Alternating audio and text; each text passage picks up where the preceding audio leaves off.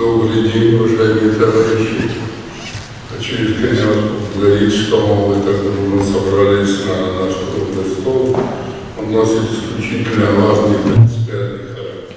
Преподавание истории российской системы образования, вопрос совершенствования программ и учебных пособий.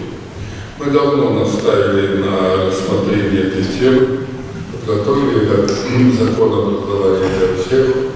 Эти проблемы ведущие специалисты. По фракции Компартии России каждый второй третий является ученым, и абсолютно большинство занимались учебно-воспитательной работой в школах, вузах и техникумах. Я сам 17 лет начинал учителем сельской школы.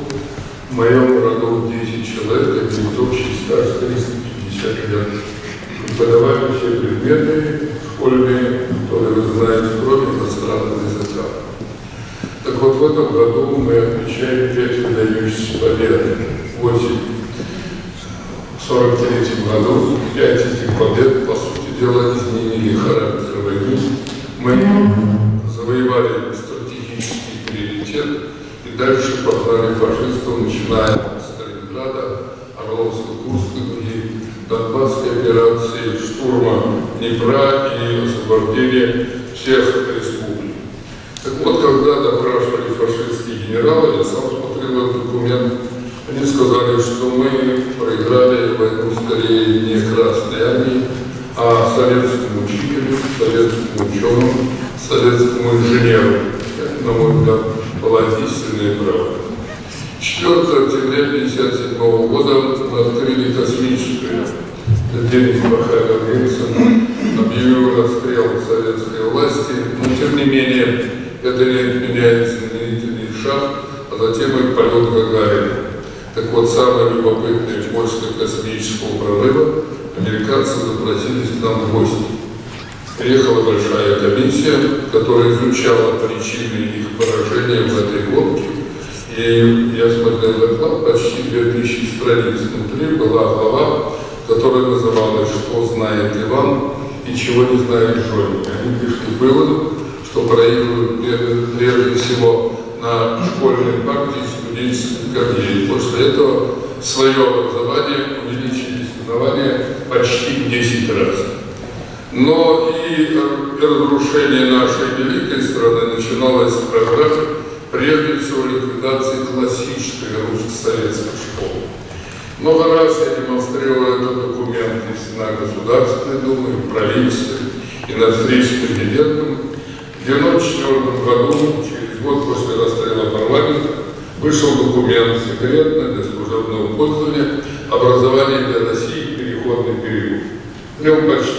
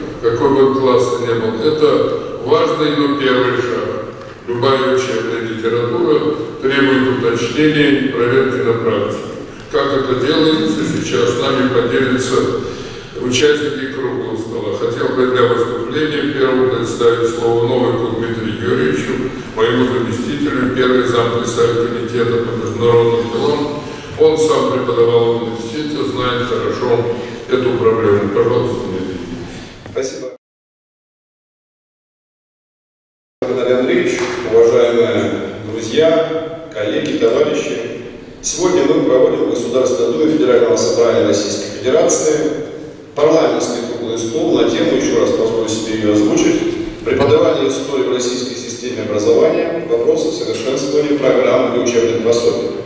Участие в обсуждении принимают сегодня ученые-историки, преподаватели высшей и средней школы, депутаты разных уровней, представители молодежных организаций, учащиеся. Это позволяет нам рассмотреть проблему, тему, выдвинутую на обсуждение сегодняшнее, выпукло и глубоко. А, рассматриваем историческое образование как одну из стержневых систем а, во всей образовательно-воспитательной системе. Несмотря на многолетние разрушительные реформы, отечественная система образования в России жива и надеется на лучшее. Мы э, все здесь присутствующие, а прежде всего педагоги нашей страны, от Москвы до далекой глубинки, многое сделали, чтобы сохранить мощный, уникальный фундамент советской школы, поддержать лучшие традиции, обеспечить тем самым достойное будущее нашей Родины и ее новых поколений. Для сбережения великого наследия русско-советские школы немалую роль сыграли его патриотические силы. Борьба за образование была крайне необходима все эти 30 лет. КПРФ и наши сторонники всегда стояли на пути перекройки образования в России по худшим западным лекалам. Несмотря на либеральный шаг 90-х годов и на сегодняшние усилия пятой колонны, наше образование не утратило тех начал, которые закладывались благодаря Магнитскому и Ломоносову, Пушкину, Толстому, Шунскому, Выгодскому, Макаренко, Сухомлинскому. Мы никогда не мирились с снижением качества отечественного образования, с попытками разорвать обучение и воспитание, с разрушением а, таких сложных, так долго и трудно, глубоко выстраивавшихся межпредметных связей. Они, кстати, очень важны. Важны в преподавании всех дисциплин, в том числе истории, литературы, географии, обществознания. И говоря сегодня об историческом образовании, мы должны понимать, что оно не сводится только к урокам истории. Разве в курсах физики, например, не должен говорить о фигуре Ломоносова? Разве в курсе химии не следует говорить о фигуре Менделеева? Разве в биологии, при ее изучении мы не должны вспоминать о вкладе Павлова и Мичурина, об их эпохе, об их времени, об их роли в науке? Антисоветчики русофобы долгие годы под завесой общечеловеческих ценностей продвигали собственные, по воззрении собственные подходы настойчиво забывали, например, о главном, о тесной связи патриотического и социального в творчестве Пушкина, Лермонтова, Тургенева, Толстого, Достоевского, Горького, Маяковского, Есенина, Шолохова и других авторов. А когда о них и говорили, то либо выдвигали на первый план лирику авторов, к чему их творчество точно не сводится, либо это хуже их провозглашали то перцами, то пропагандистами тоталитаризма. Сам термин тоталитаризм а, активно навязывался, навязывался вопреки его ненаучности, вопреки искусственной сконструированности его для того, чтобы участвовать в пропагандистской войне с Советским Союзом и уравнивать Гитлера и Сталина, фашистскую Германию и Советский Союз. Умы школьников и студентов засоряли непотребщиной Солженицына, ложью Волкогонова. Некоторые вообще тащили в студенческие аудитории школьные классы мерзости Резуна Суворова. Одновременно Николая Островского, Александра Фадеева, Бориса Полевого многие с удовольствием были готовы убрать из школьной программы вообще. На данный момент российской общественности при нашем политическом участии удалось отстоять или вернуть школьные программы выдающиеся произведения классиков литературы, подлинных мастеров слова. В Вычесли роман Чернышевского, что делать, прямо Некрасова, кому на Руси жить хорошо, история одного города э, Салтыкова-Щедрина, как закалялась Сталин Николая Островского, молодая гвардия Фадеева, военная поэзия Симонова и Твардовского, рассказы распутанная Шушина. Мы настойчиво противостояли фальсификациям истории из российских учебников, в основном убраны панигирики во славу предателей и коллаборационистов Белого адмирала Колчака, эсэсовского генерала Краснова. А более объективным стало освещение событий Великой Отечественной войны других периодов истории. КПРФ, как уже сказал Геннадий Андреевич, поддержала саму по себе идею единого учебника истории. Появился опыт его создания. А, вот могу продемонстрировать, в руках, 10 класс, вот 11 класс. Вот эти учебники, которыми сейчас снабжаются российские школы, хотя здесь есть некоторые задержки, вопреки годным отчетам чиновников из Министерства просвещения. У нас, э, тем не менее, удивляет, что появление этих учебных пособий подается как финал процесса, как некая заслуга, а, которая позволяет авторам почивать на лавах, а, ну, конечно, согласиться не, не можем по многим причинам. Да, процесс начат, процесс важный, процесс нужный, но предстоит пройти его полностью для того, чтобы а, абсолютно выверенные необходимые стране оценки звучали такого рода учебных пособий. Ну и параллельно. Вот у меня не только эти два учебника с собой, но и чеки. За покупку их буквально на днях в книжных магазинах Москвы. Учебник за 10 класс 1280 рублей. Немало, да? На соседних полках стоят э, учебники, вернее, книги такого же объема, э, в такой же бумаге, меньшим тиражом, причем изданные, но стоит почему-то дешевле, чем школьный учебник. А учебник такой же по объему, даже по оформлению за 11 класс, я вам уже показал, на соседней полке стоит 2620 рублей. В два раза больше. Ну, конечно, мне могут возразить, что это да, много, а в принципе школьники наших школах через библиотеки снабжаются этими учебниками бесплатно. Но все равно, кто мне объяснит, откуда такая цена? А если кто-то хотел бы не сдать учебник после окончания а, 10 или 11 класса, оставить себе, тогда он все-таки должен его купить. Никто же ему не оставит, нужно в библиотеке его сдавать. А потом, вот тогда по каким ценам школы снабжаются учебными пособиями? По вот этим, взятым с потолка или по каким? И кто тогда переплачивает такую цену? Бюджет, получается, переплачивает. Кто это и когда отрегулирует? В стране, э, страна вправе рассчитывать, что это действительно только начало пути по оздоровлению учебного процесса. В новых учебниках для 10 и 11 класса должно быть в полной мере учтены требования к объективному освещению исторического пути, который прошел наш народ, с честным, по-настоящему честным, а не десятым рассказом о успехах взлетах, достижениях и подвигах, причинах неудачи падений. Нынешние сдвиги к лучшему в российской системе образования считаем недостаточно. Нужно двигаться дальше, предстоит в полной мере соединить уникальные достижения советской педагогики, возрастной психологии, методик преподавания современным, современными, в том числе мультимедийными возможностями, но нельзя забывать, что форма не может и не должна подменять содержание. Содержание преподавания главное. Для нас странно и недопустимо, когда в курсах литературы Гавриил Державин, Василий Жуковский и даже Александр Пушкин остаются достоянием лишь неполной средней школы. Недавнее возмущение общественности в этой связи совершенно закономерно. Взаимо взаимодействие с пушкинским наследием крайне важно на всем протяжении образовательного процесса в сказах Пушкина в начальных классах, в средних, до Евгения Никина и клеветникам России старших классах. Общие подходы КПРФ отражают проект федерального закона и программы КПРФ «Образование для всех». А мы, во главе с лидером нашей партии, не раз говорили об этом со всех трибун, не только парламентских. У истоков разработки этой программы, этого законопроекта стояли Нобелевский лауреат Жарес Алфоров, первый заместитель председателя Государственной Думы профессор МГУ Иван Мельников, известный лидер образовательного сообщества Олег Смолин, академик Владимир Кашин, герой Советского Союза Светлана Савицкая, координатор фракции Николай Коломейцев, председатель комитета, участник сегодняшнего круглого стола Нина Сталина и другие товарищи. Наша программа «Образование для всех» вобрала в себя лучшие профессиональные практики и предложения образовательного сообщества. Она многократно обсуждена в ходе парламентских слушаний и круглых столов. Чтобы вновь сделать российское образование самым передовым, мы предлагаем, первое, создать необходимый материальный фундамент для увеличения э, образования, увеличение финансирования образования до 7% от ВВП. Затраты на образование изначально рассматриваем не как бремя для государства, как утверждают либеральные догматики, а как самые передовые инвестиции в человека, передовые перспективы. Второе. Формирование базовых принципов развития образования, основанных на идее гуманизма, социального прогресса, справедливости, развития, научной объективности, патриотизма считаем важнейшей задачей.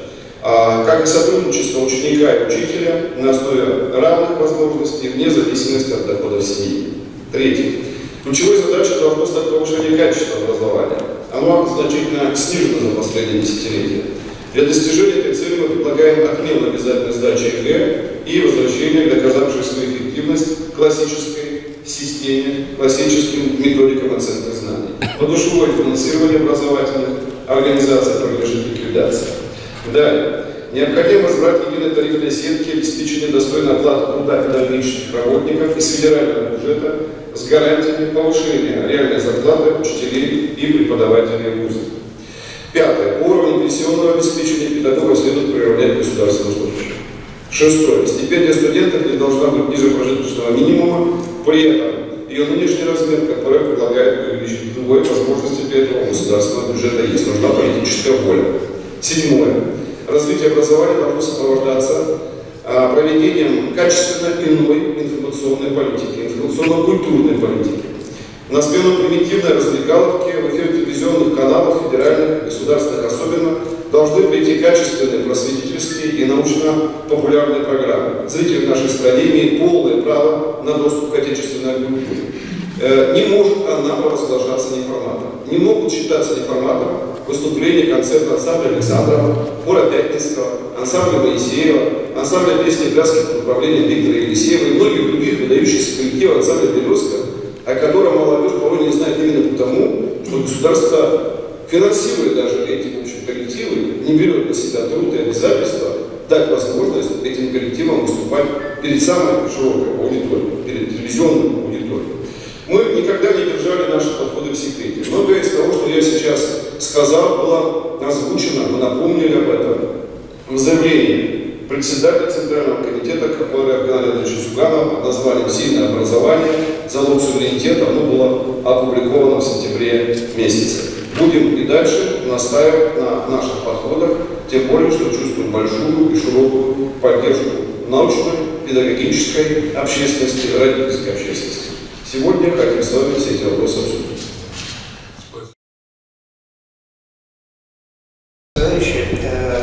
я бы хотел поговорить о методологии, вспомнить вначале слова Сталина «Вестевой нам смерть», и трижды он повторил «смерть, смерть». И напомню, как развивалась вообще вопрос с формированием учебной истории.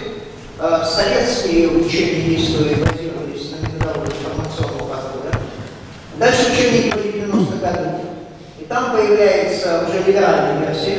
Сорсовские учебники это концепция тоталитаризма, приравнивание советской государственности к нацистской государственности и критика всего советского под базовым концептом тоталитарности. Дальше, понятно, с этим долго невозможно было существовать, появляется историко-культурный стандарт, который основывается на концепции модернизации. Что такое концепция модернизации? Это практически перепев либерального подхода. А, то, что весь мир идет, есть традиционное общество, оно вариативно, есть современное общество, оно универсальное. Весь мир идет от вариативного традиционного общества к универсальному современному, ну и возникает вопрос, а где суверенитет, традиционные ценности, патриотизм, ничего этого не будет единый универсальный мир, концепция модернизации об этом. Ну и вот было заявлено, объявлено, что создается новый учебник истории. Ожидалось, что будет, он в методологическом плане принесет нечто нового.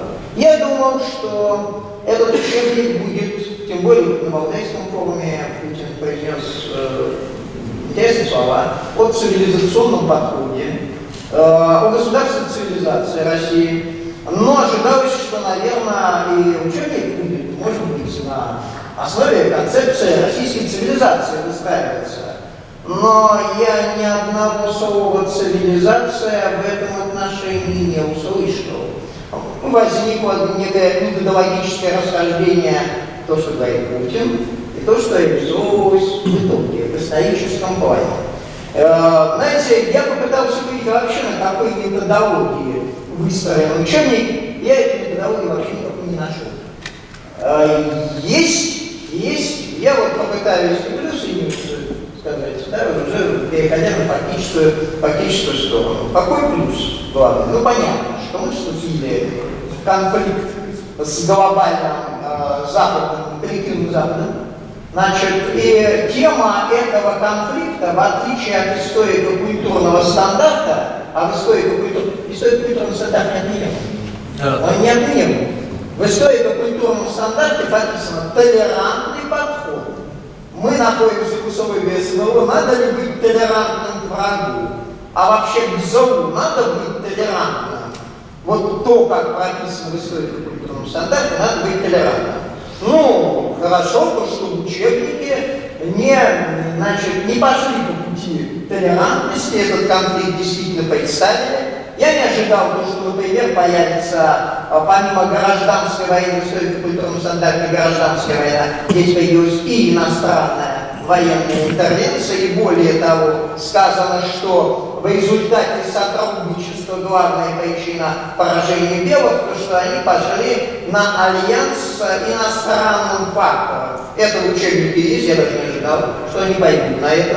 Э, диссидентов плотно опекал Запад, было сказано, наверное, впервые.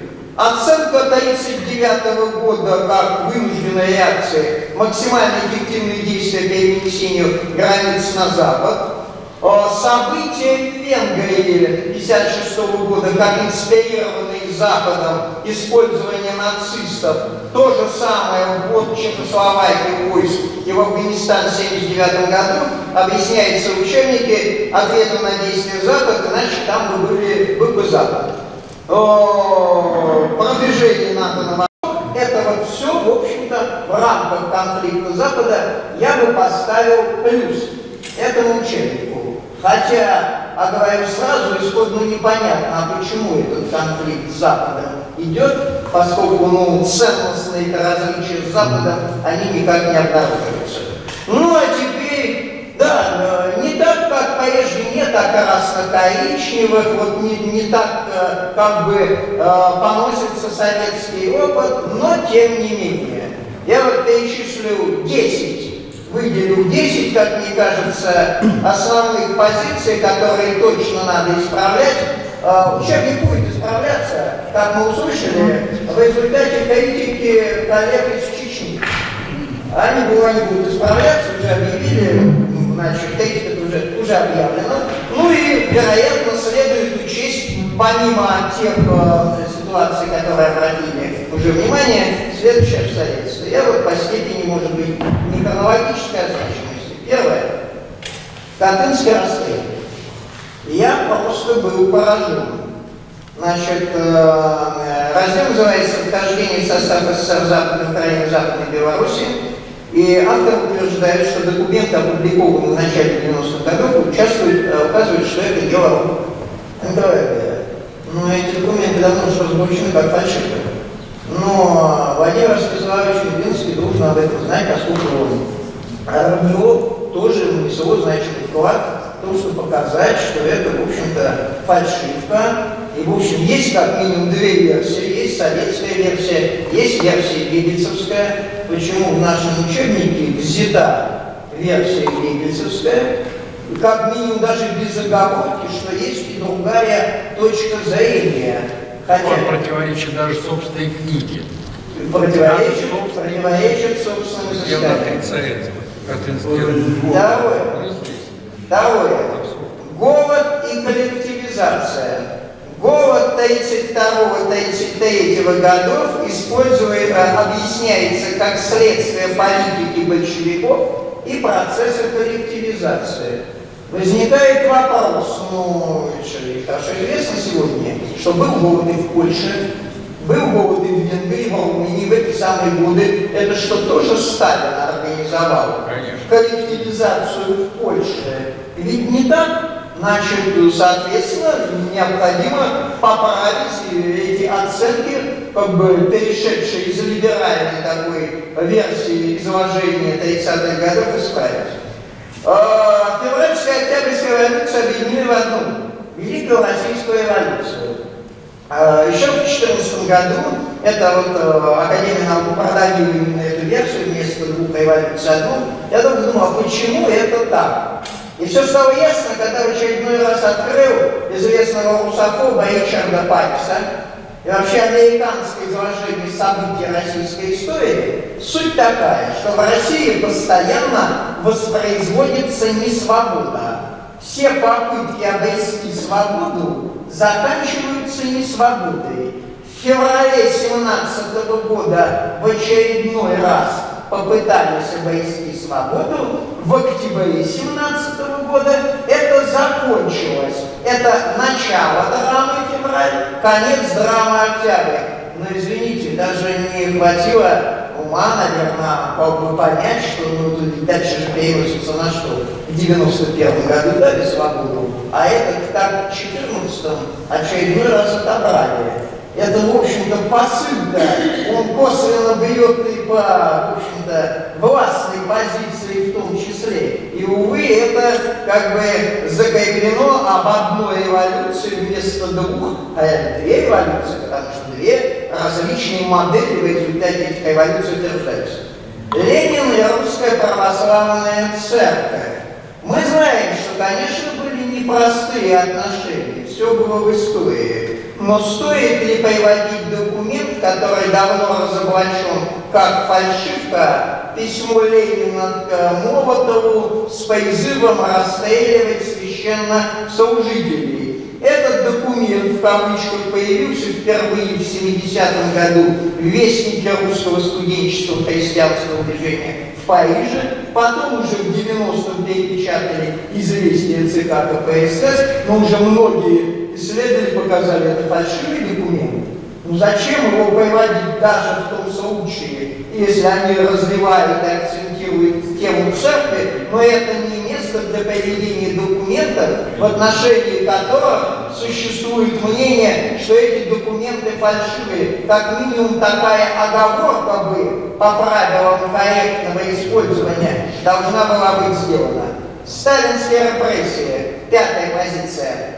Сталинская репрессия по-прежнему сохраняется шаблон э, политич односторонней трактовки сталинских репрессий. Не указывается, из изложения следует, что все репрессированные были невиновны, но ведь были, вероятно, виновные. Значит, э, самой постановки вопроса, что были разные репрессированные, и ее нет, и из этого складывается прежняя тенденциозность посвящения этого периода. Я прошу прощения, я перебью. Я когда писал книгу по Хрущеву, я когда писал книгу по Хрущеву, я специально обратил особое внимание на записку тогдашнего генпрокурора Руденко, которая была направлена Хрущеву в апреле 1955 года. Значит, э, дело в том, что еще в июне 1954 года Руденко была поставлена задача э, пересмотреть дела по политическим репрессированным э, до военного периода. Они за 10 месяцев своей работы э, посмотрели 250 тысяч дел. Центральная комиссия 13,5 где-то тысяч, 237 тысяч это региональная комиссия. Я называю цифры, которые комиссии Руденко были признаны невиновными, то есть амнистированы. Всего по Союзу СССР 4,85 процента. Это из 250 тысяч. По РСФСР чуть больше 5%. По Украинской ССР, где было рассмотрено наибольшее количество дел, более 94 тысяч из 250. 0,91. Этой комиссии Руденко сам Хрущев поставил задачу рыть носом землю и доказать, тотальную невиновность якобы незаконно репрессированных. Вы понимаете, о чем идет речь? То есть документы даже хрущевской эпохи опровергают все это. Ноль эмоций, никто это не учитывает и никто об этом не говорит. Я прошу прощения, но это важная была э, как бы поправка. Появился Евгений Юрьевич, который еще будет выступать. Я, с вашего позволения, назову еще пять э, заявителей, 10, 10 пунктов, которые я Ну, предложил. давайте с удовольствием. Да, значит, э, номер шесть. Это характеристика советского общества 30-х годов. Автор указывает три индикативных элемента. Карточная система, низкая заработная плата, высокая цена на дефицитные товары. Это, во-первых, все, как бы как главная характеристика. Во-вторых, как бы, ну, э, правильно ли карточки были отменены в 1935 году. Высокая цена и дефицитный товар создается впечатление, что, в общем-то, несколько эпохи перепутали, говоря о дефицитах. Э, Седьмая позиция. А, Так называемая борьба с безродным космополитизмом, так называемая, так называемое ленинградское дело, так называемое дело врачей. И все так называемое, а так называемое значит авторы не согласны с этим делом, оно все присутствует на одной странице, возникает вопрос, а что, не надо было бороться с безродным космополитизмом? А сегодня постановка вопроса о борьбе с тем же самым космополитизмом, она же тоже так называемая. Восемь. Кризис брежневского периода советская модель не реализовывала потребительские запросы населения. Она не могла реализовать потребительские запросы. Советская система, по большому счету, повторяет ту же самую объяснительную модель, которая была и в прежних федеральных учебниках, что советская система не могла обеспечить граждан. И в этом смысле, и поэтому проиграла. Девятая позиция. Э, 1993 год.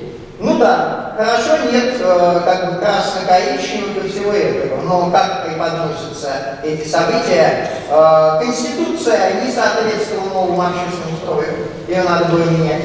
Дальше последствия удалось избежать гражданской войны. В результате такого встраивания описания безоценочных событий 93 года складывается впечатление, что правильно все действовала ельцинская команда. Ну и последнее, пункт номер 10 о современной консолидации российского общества. Современная консолидация российского общества. Но возникает вопрос, сегодня оценивается в 22-23 году от 600 тысяч до миллиона уехавших. Они почему уехали? Это больше, чем уехало за весь период э, то, что считается холодная война. Иммиграция из СССР за один год.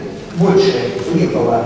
Ну, значит, это не... Да, значит, ну, как бы под понятие консолидация это точно не подходит. И, в общем-то, э, все вот эти положения, я не буду говорить о более мелких, у школе было объявлено то, что, в общем-то, новое учебник будет изменяться, вноситься изменения, то, ну, целесообразно было бы обратить внимание на, первое, методологические, как бы, недостаточно фундированность этого учебника, и второе, на многие стереотипы либерального подхода, которые в этом учебнике сохранены. Спасибо.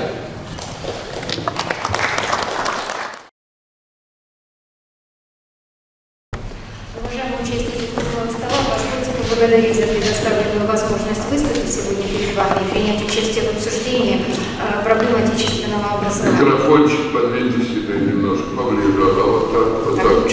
Спасибо.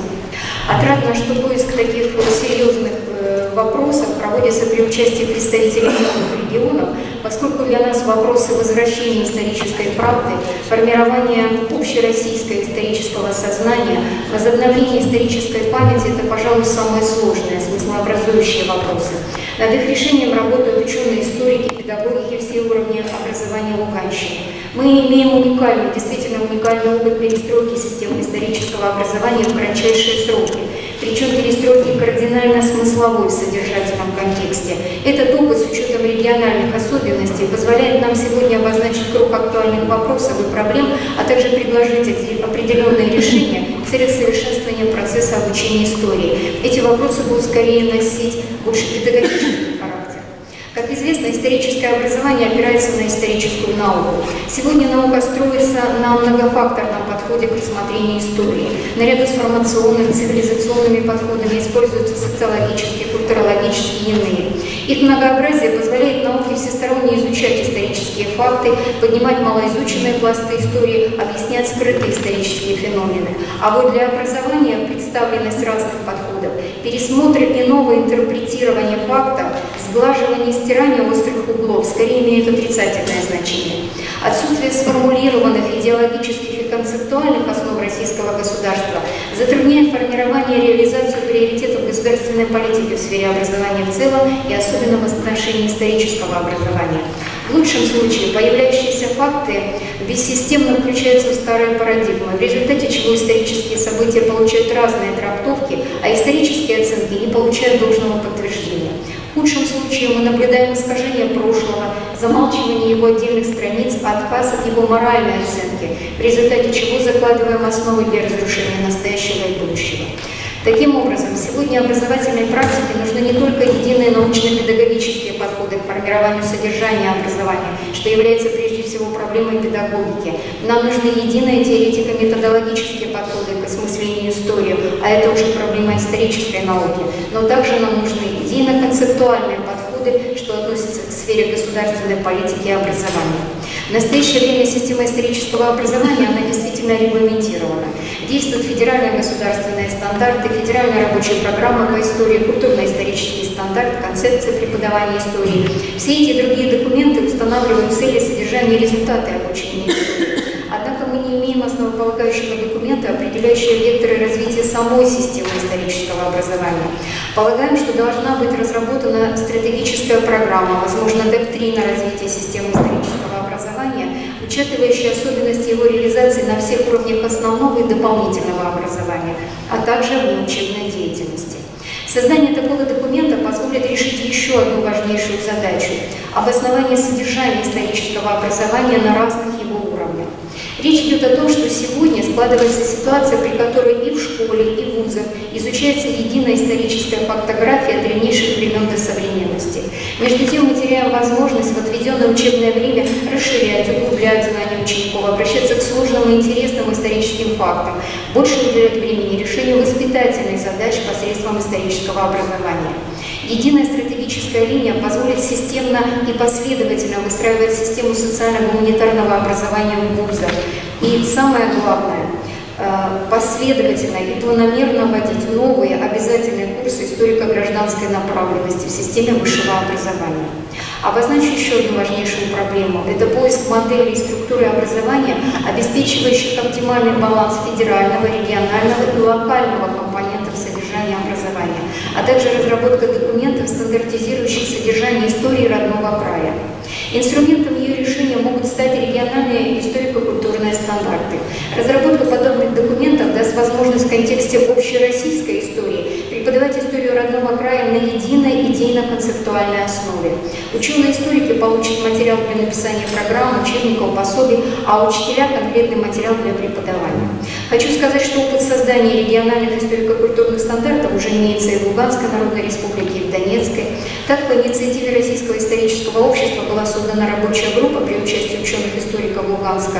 Э, в нее вошли также преподаватели Луганского педагогического университета, которые читают историю родного края.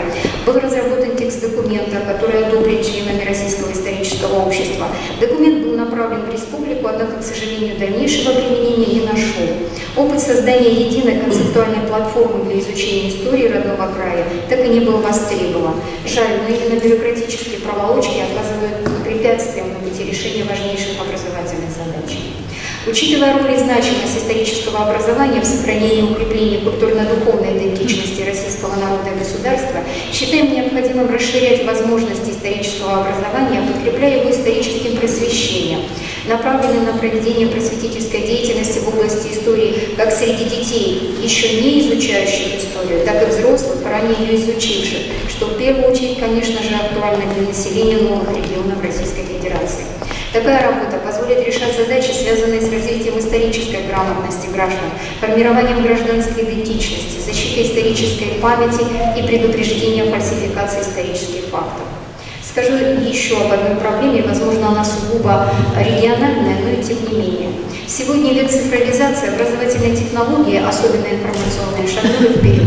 Но на местах мы по-прежнему смотрим на это как на возможности. Школы испытывают недостаток вспомогательных пособий, позволяющих осваивать современное историческое содержание.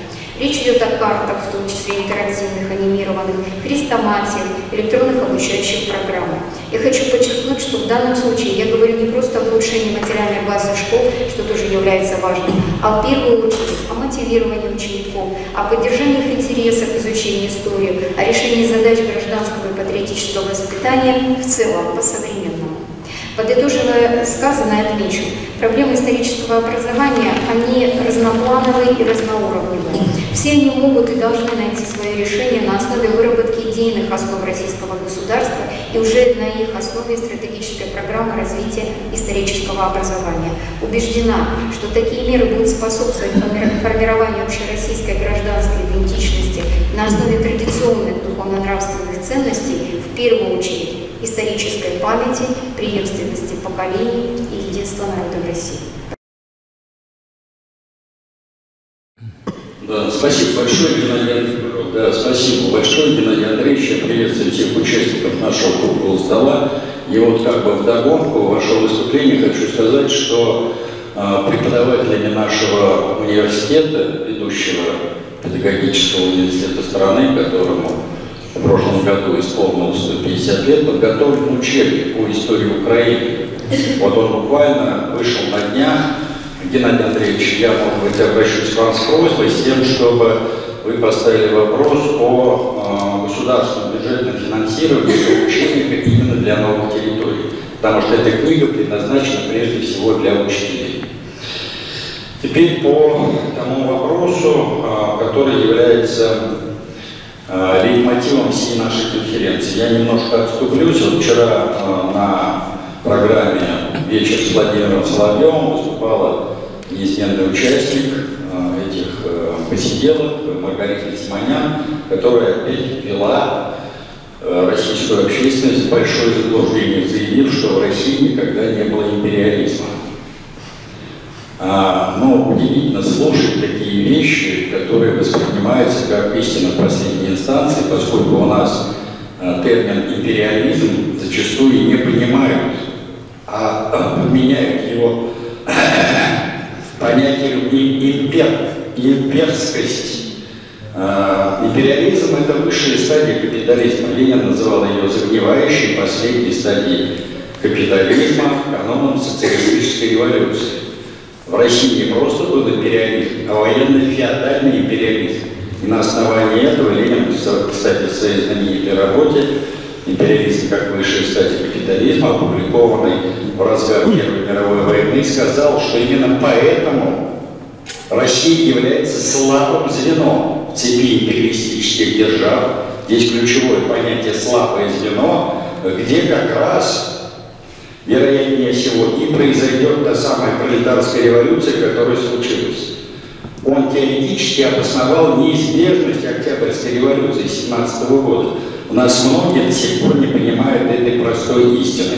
Хотя она вчера говорила, что горда тем, что получила еще советское фундаментальное образование. У меня большой вопрос, получала ли она его вообще.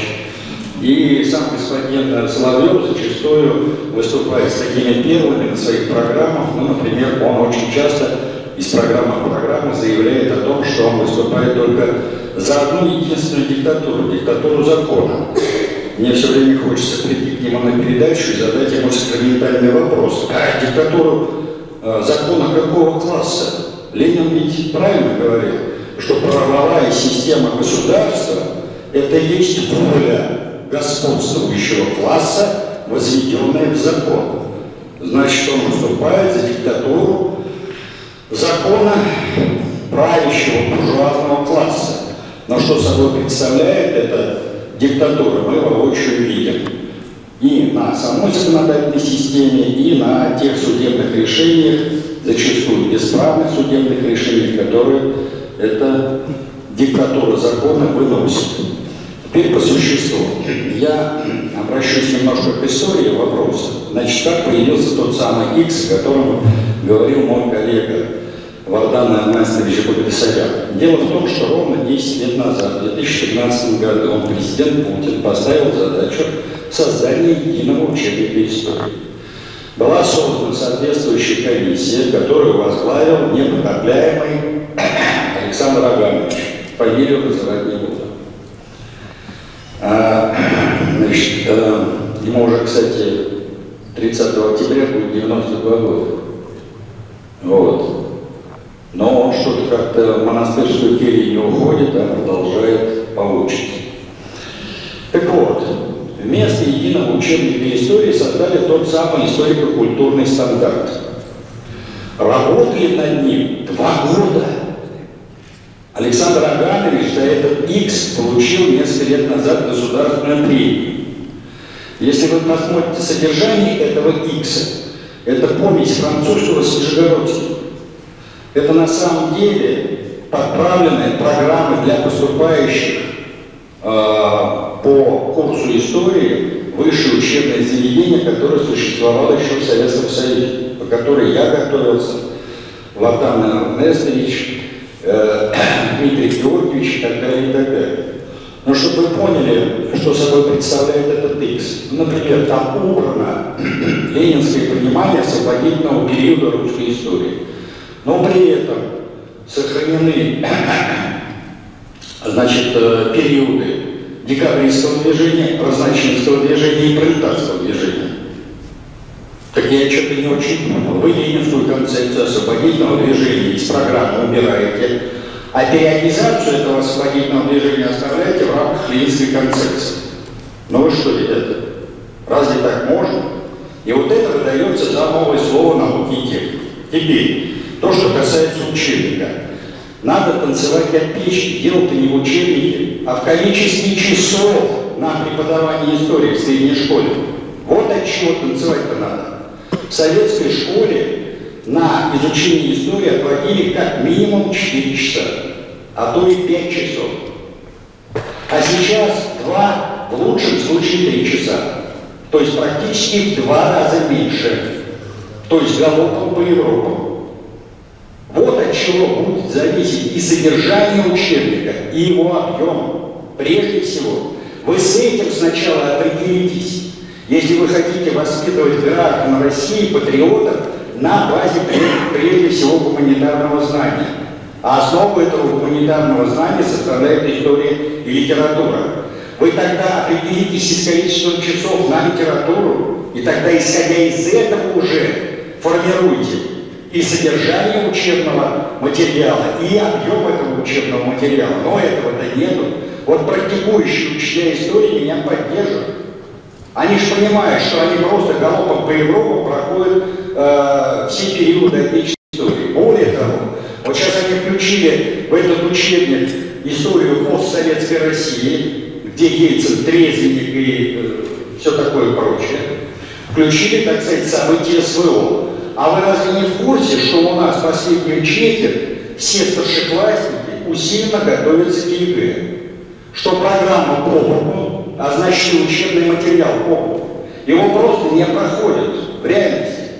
В журналах прописывают все как есть, а по факту-то этого нету. Более того, значительная часть э, учеников старшей школы, это примерно 65-70%, то есть тем, кому не нужна история в качестве ЕГЭ, они просто не проходят этот материал.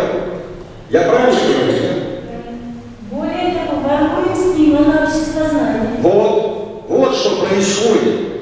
И никто этого не знает. Или делает вид, что не знает. Написали очередную, так сказать, подделку и отрапортовали. Теперь еще одно важное обстоятельство. Я почитал этот учебник за 11 класс. Слушайте, ну там содержится просто огромное количество фактических ошибок. Чего в учебнике вообще не должно быть. Но в качестве одного из примеров там пишется о том, что в Советском Союзе с 46 по 50 год включительно ежегодно проводилось снижение цен. Ребята, я бы вам поставил холл за этот ответ на экзамен. Потому что снижение цен стали проводить с момента проведения денежной реформы, постановление которой было подписано 14 декабря 1947 года. И в этом постановлении содержался э, перечень, первый перечень о снижении цен на те или иные товары. Последнее постановление о снижении цен вышло 18 января 1954 года, подписано Маленковым и Хрущевым. У вас в учебнике 50 и 46 год. Как такое может быть? План Маршалла был принят на Парижской конференции в июле 47-го, а не в апреле 48-го. В апреле 48-го уже началась реализация этого плана. Но при этом вы совершенно упустили из учебника одно из важных положений э, этого плана Маршалла, что заставило лишь Советский Союз и страны народной демократии отказаться от участия в Парижской конференции. Но они специально не указывают на это положение. Там же было написано, что претендовать на помощь по этому плану могут только те государства, из которых изгнаны все коммунисты и социалисты. Понимаете? Ну как же писать такие вещи? Нас обвинят в левом повороте. Ну и так далее, и так далее. Теперь дальше еще одно важное обстоятельство. Ну хорошо, предположим, мы написали идеальный учебник, предположим, мы дали энное количество, нужное количество часов на преподавание истории. А кадры у вас где? Кого мы готовим в высших учебных заведениях? На чему мы готовим? Методология такая. Вот Вардан Арнестович уже говорил. В советской школе была марксистско-ленинская методология. Хорошая, плохая, но она была стройна, она пронизывала всю систему исторического и вообще гуманитарного образования. Существовали общие законы развития человеческой цивилизации, существовали причинно-следственные связи, а не набор каких-то оторванных друг от друга фактов и так далее, и так далее. А сейчас вас что? Вот тут э, речь шла о цивилизационной теории. Ну, замечательно, у нас была сделана попытка подходить методологию на этой теории господина Тойни и компании. Но сейчас совершенно очевидно стало, что цивилизационная теория – это европоцентричная теория. Потому что там пупом Земли является именно европейская цивилизация. Все остальные цивилизации – это периферийные цивилизации, полуцивилизации и так далее, и так далее.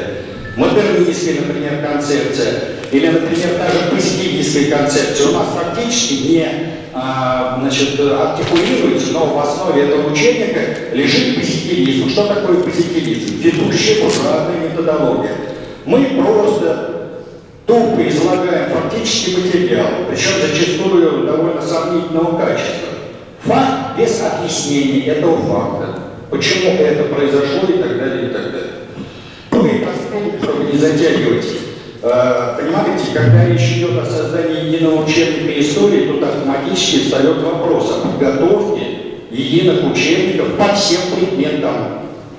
И по литературе, и по русскому, и по физике, и по математике, и так далее, и так далее.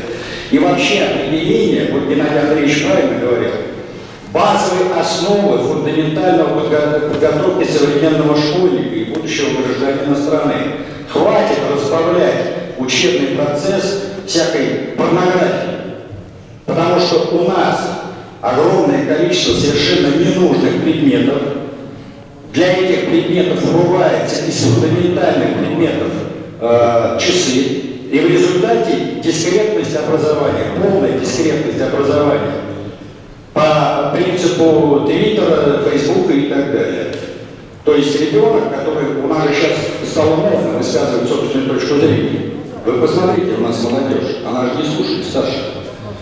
А ее все время учат тому, что они имеют все, точки, все свою точку зрения. Он последнюю чушь сказал, но он ее высказал. Но аргументировать эту точку зрения он не в состоянии. Наполнить эту точку зрения фактическим материалом он не в состоянии. Дело-то не в том, чтобы ребенок высказывал свою точку зрения, а дело в том, что он эту точку зрения должен обосновать, аргументировать, ну и так далее, и так далее. Так что здесь у нас проблем в системе образования, особенно среднего, среднего образования, огромное количество.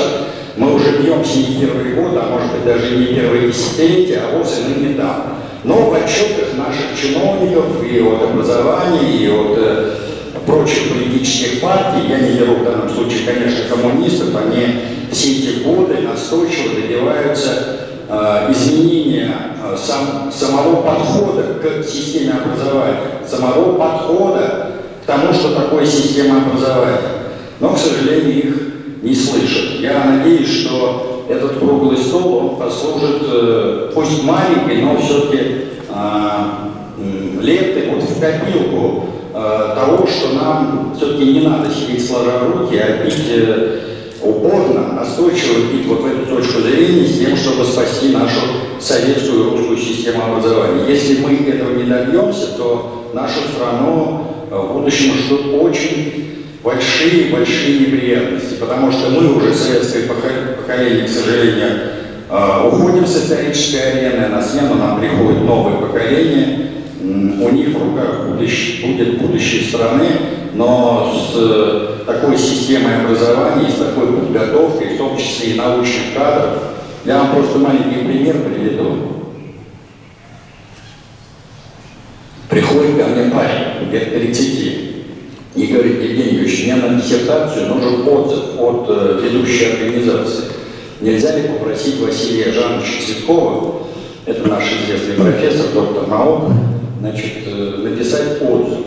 Я беру эту диссертацию. Она посвящена истории санитарной службы русской императорской армии в годы Первой мировой войны. Я смотрю на листочке, и там написано, нужен оппонент. Я на него смотрю и говорю, а кто вот это написал? Оппонент. Через А и с одной П. Он улыбается и говорит, я. Я говорю, вы 10 минут кандидат исторических наук. Слово оппонент пишется через О с двумя П. У него были такие удивительные глаза. И еще один, еще один маленький пример. С одной стороны он смешной, а с другой стороны он просто меня вверх в ступор. Приходит девица пятого курса исторического факультета, пятого курса исторического факультета, с просьбой помочь ей написать диплом по истории опричника. Я говорю, тема как называется? Она мне дает листочек, там написано «Опричнина». Я на нее смотрю, думаю, то ли она идиотка, то ли она в наркотическом угаре. Я говорю, это кто писал-то? Она говорит, я. Я говорю, вы на каком курсе учитесь? Ну, опять. Я говорю, а факультет как? Такой, она исторический. Я просто дар речи потерял. Вы понимаете, кого мы готовим? И кому мы выдаем дипломы? И вот это была еще книжечка новейшей истории, где написано, а зачем воевать, а надо было открыть города, а зачем и все такое прочее. И 30 лет нам сказали, 16 дней выбирайте. А что выбирать? Великая Отечественная 4, максимум 5 часов, в новейшей истории 2-3 часа. Мы очень ждали новый учебник, просто очень ждали. Ну, патриотические речи, и думалось, что это будет учебник, учебник настоящий, а это действительно научный учебник, потому что детей надо учить науке.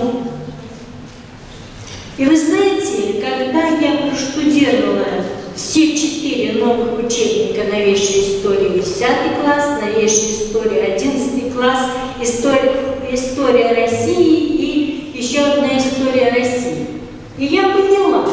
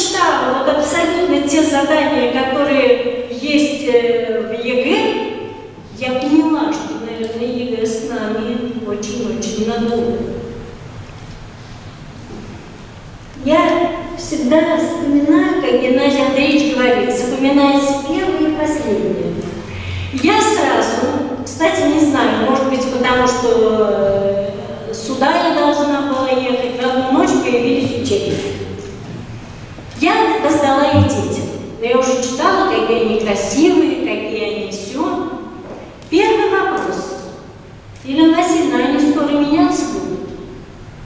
Почему вы так решили? Они абсолютно новые.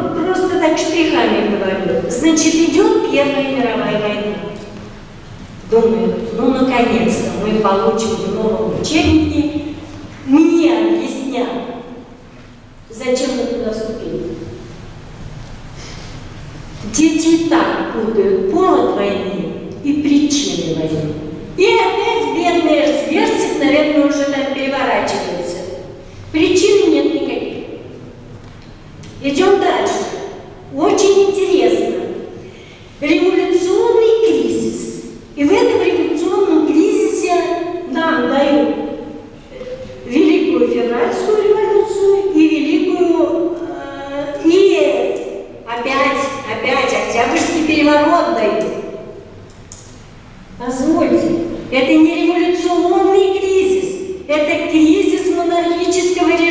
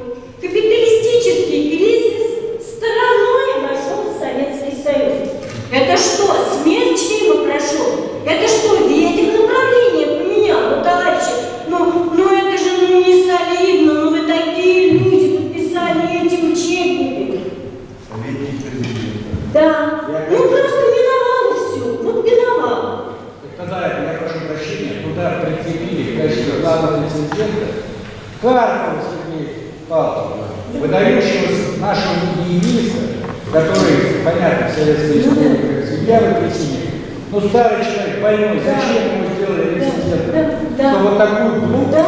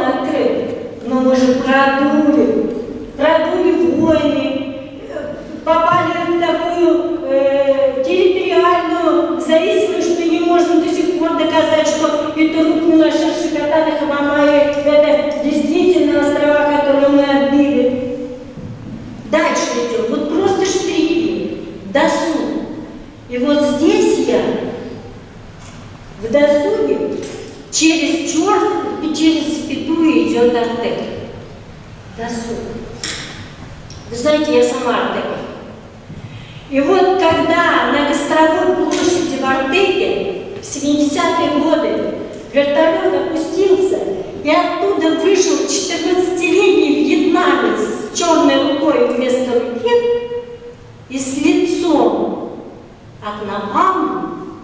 Вот я тогда, еще совсем маленькая девочка, поняла, что это настоящее лицо империализма. Вот это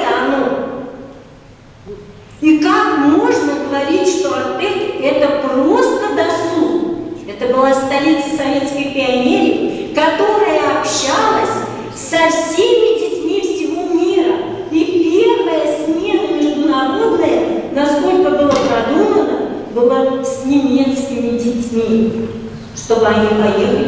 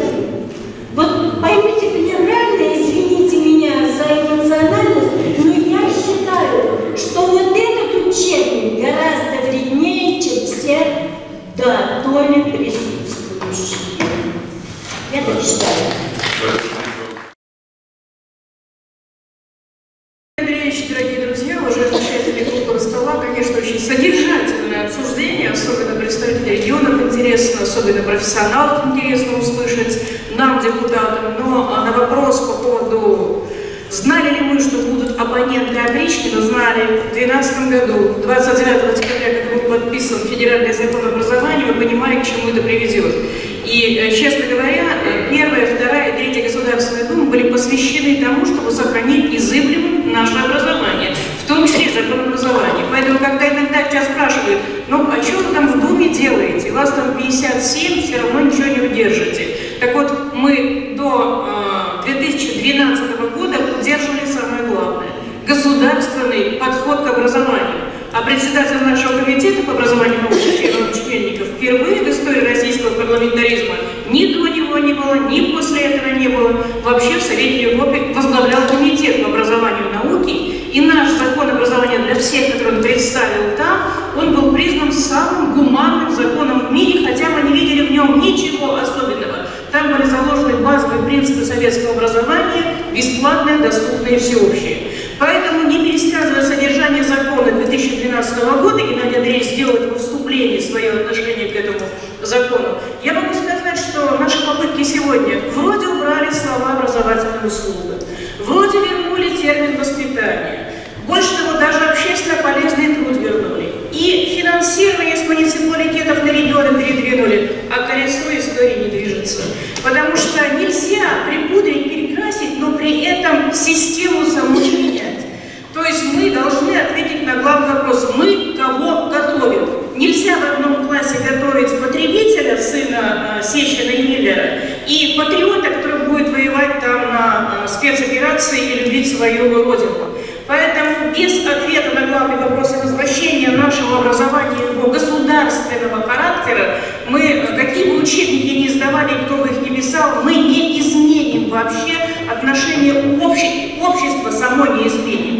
И в этой части, конечно, э, нас не удивил э, поток писем, который поступает в нашу фракцию, в наш комитет сегодня. Ну вот я их э, так систематизировала, и понимание того, что дальнейший отказ от базовых принципов образование перестало быть бесплатным, образование перестало быть доступным, образование перестало быть всеобщим.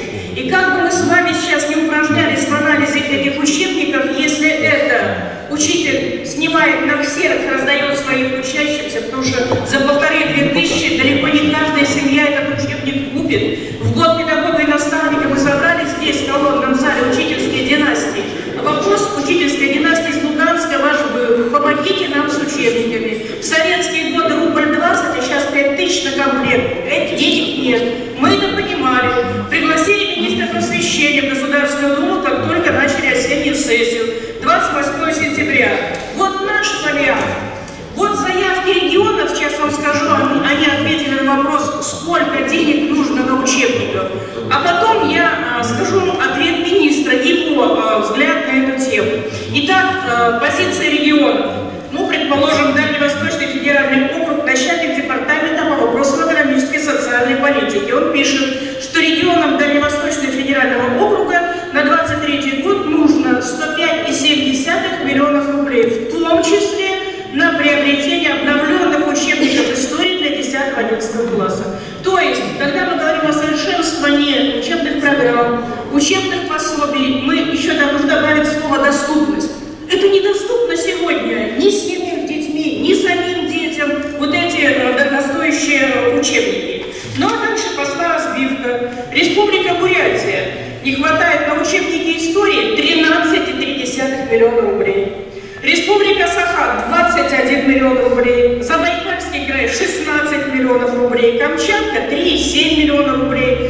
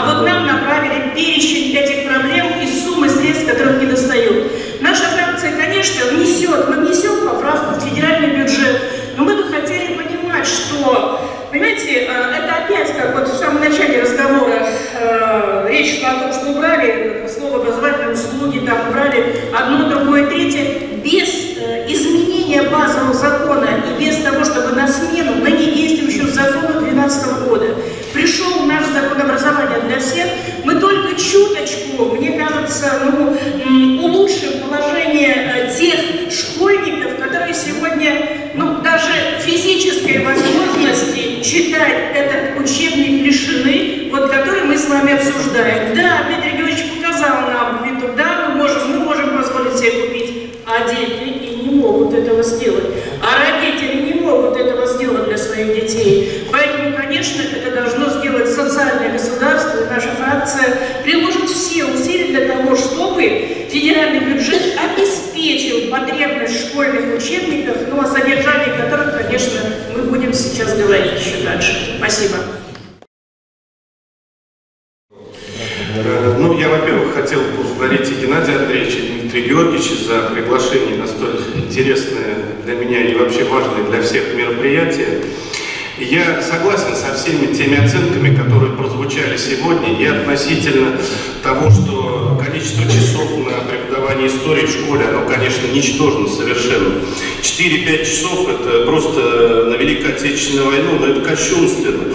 Мне несколько лет назад попалось отдельное учебное пособие, белорусское, надо сказать, где э, история Великой Отечественной войны в рамках изучения истории в школе изучается отдельным курсом. И э, пособие примерно вот такого же объема э, по истории Великой Отечественной войны. Что над образованием в последнее время э, проводятся сплошные эксперименты, это тоже факт.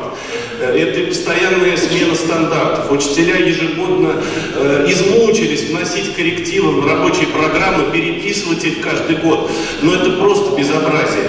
То, что с высоких трибун заявляют о том, что снижение бюрократии, бюрократической нагрузки на учителя, это чушь полная. Никакого снижения бюрократической нагрузки не произошло. Учителя по-прежнему завалены всякого рода совершенно идиотской, я извиняюсь за выражение, отчетностью. Более того, каждое, я не знаю, там министерство, ведомство, управление теперь озабочено проведением многочисленных э, мероприятий, конкурсов, в которых обязывают уч- участвовать каждое учебное заведение. И э, ежедневно, буквально ежедневно, каждая школа получает вот такую кипу э, толщиной больше спичечного коробка различных мероприятий с пометкой «Обязательно к участию». Э, Хотя в советской школе мы знаем, что центральное место занимали централизованные, утвержденные государством олимпиады и э, в лучшем случае какие-то к памятным датам внутришкольные мероприятия. Все, остальное время занимал учебный процесс. И урок в советской школе был ну, не чем-то святым. Э, Урочное время нельзя было тратить на всю эту вот ерунду, на которую тратится время сейчас.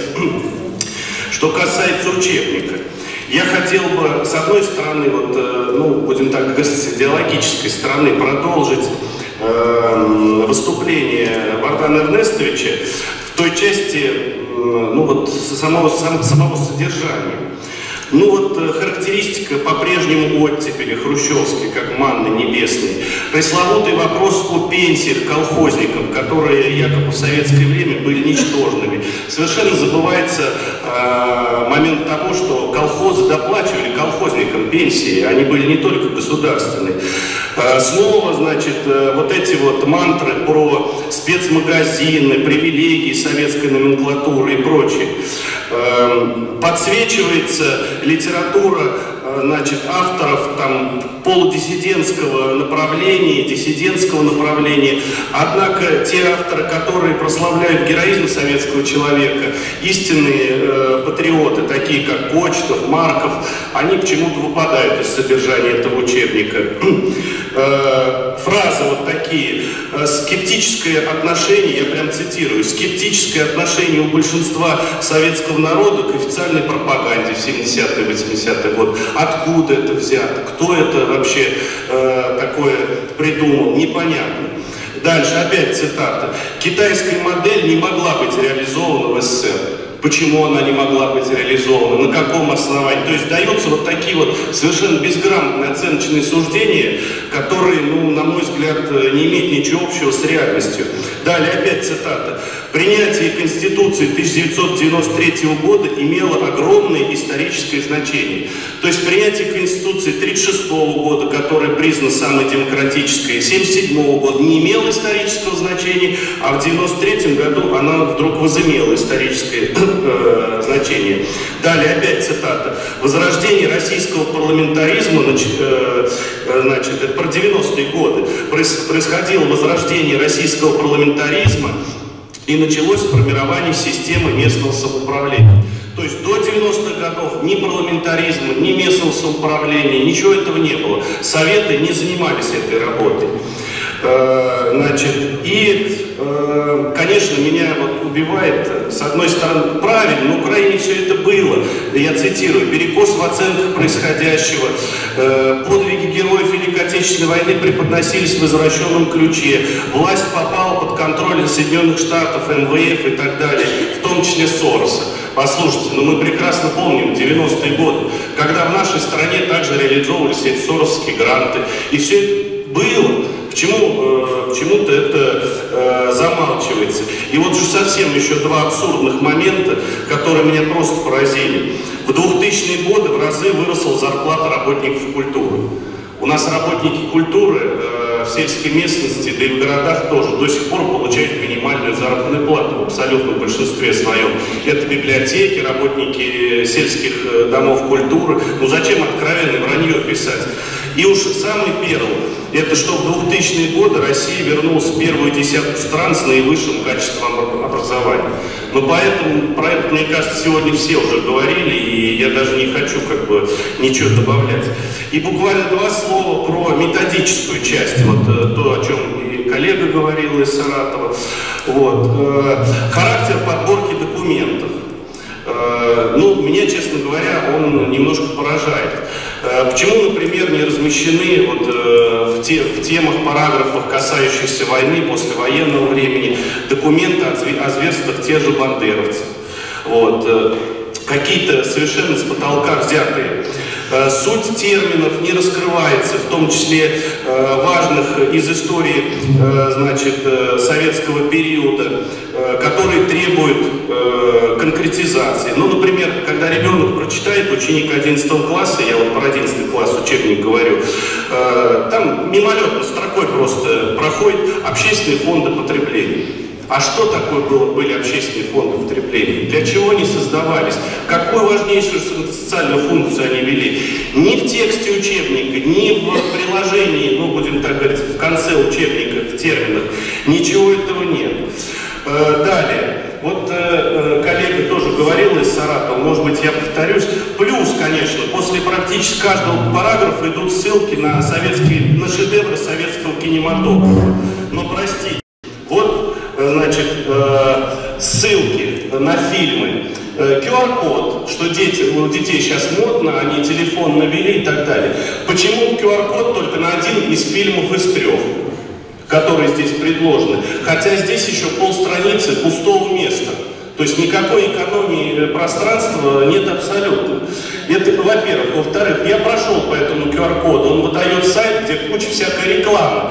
И прежде чем ты найдешь этот фильм, у тебя уйдет там несколько минут времени, и не факт, что ты зайдешь на какой-нибудь дурацкий сайт э, мимоходом.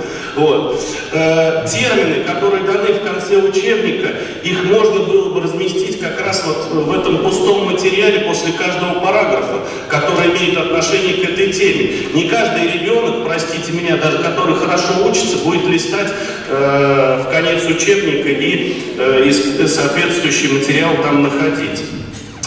Э, ну и э, последнее, пожалуй, что еще хотел бы вот в методической части сказать, очень много ссылок вообще на непонятные источники. Вот Евгений Юрьевич здесь присутствует. Конечно, понятно, это не монография какая-то научная, но допускать в учебнике истории такие фразы, я цитирую, как говорил один современник, это кто? Мужик на улице какой-то сказал. Вот. Или как считали многие, кто считал. То есть, ну, нет совершенной конкретики, ну, вы тогда укажите мне никакого специалиста, историка, экономиста, там, э, и так далее. Э, там в качестве рекомендованной литературы указана э, книга Гаспаряна про Хрущева. Но у Гаспаряна нету даже базового исторического образования. А у нас полным-полно специалистов, которые писали по хрущевской эпохе. Тот же Пышков, тот же Сушков, ну, про присутствующих промолчим. Ну и, конечно, в завершении я хотел бы сказать о том, что э, столько было крика про создание этого общего учебника, а в итоге э, крупных историков, историческую общественность совершенно не привлекли к его подготовке. Я уж не говорю про учителей, там, э, каких-то методистов, руководителей школ. И э, плотно изучив вот, э, как бы учебник э, Евгения Юрьевича, я с удовольствием на этом круглом столе могу отметить, что вот э, он бы с задачей подготовки учебника для средней школы, безусловно, бы справился. Спасибо. 20-21 семинара пленум, я думаю, очень полезно будет послушать всем гостям, там человек 500-600 будет. Листов Ярослав Игоревич, он историк, молодой, талантливый секретарь ЦК комсомола, пожалуйста. Сегодня много говорилось о том, что у нас э, учебники очень дорого стоят, потому что их не хватает, но, знаете, э, когда знакомишься с данным учебником, хочется сказать, да и слава потому что это вообще не учебник. Это публицистический труд набор каких-то фактов. Он построен абсолютно по мозаичной системе. В нем отсутствует вообще системный подход. В этом учебнике полностью игнорируются причинно-следственные а, связи. А, тут даже хронология нарушена. То есть в одной, в одной главе а, рассказывается о том, что холодная война это противостояние двух блоков, а потом только через три страницы а, рассказывается о создании социалистического блока, который почему-то назван Восточным блоком. То есть а, люди, которые его писали, вообще не понимали, что они пишут для школьника. Я как человек, который 24 года э, здесь работает э, с, молодежью, э, я прекрасно понимаю, что этот учебник им будет просто непонятен. Потому что писался он теми людьми, которые, наверное, процентов 80 информации послали за учебник. Для них это понятно. А они получили, э, так сказать, достойное э, образование. Но школьник этого не понимает.